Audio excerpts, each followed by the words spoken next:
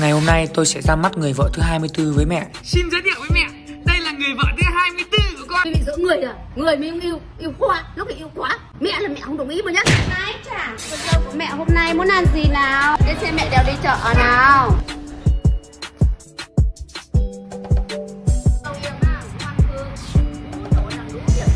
Mẹ ơi Cho con mượn vợ con tí.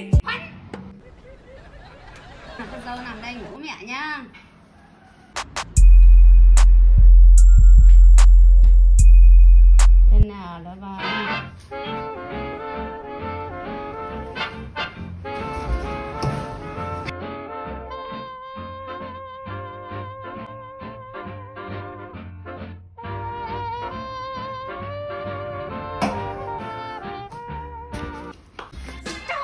Trời ơi, ăn